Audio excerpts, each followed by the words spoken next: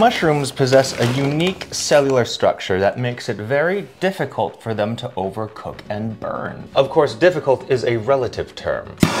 Now, there are many ways that a person can achieve a nice char, but using a blowtorch is one of the more dangerous ways and therefore one of the most fun. Tear up your mushrooms so they're all roughly about the same size. Plus, the increase in surface area just means that there is more mushroom to achieve that nice, delicious char. Olive oil, dark soy sauce, some balsamic, Lay your mushrooms out, give them a nice dab, and just like lightly kiss them with the flame, making sure that all the parts are at least charred and not like still uncooked and white. You notice that they'll shrink quite a bit and almost start to look juicy. And again, take care not to let your flame stay in one place for too long. Once all your mushrooms are done, feel free to add just a little bit of extra balsamic vinegar, maybe just a touch of salt. Little sweet, little savory, got that lovely smoky char to it, and it gives the mushrooms just a nice little bite.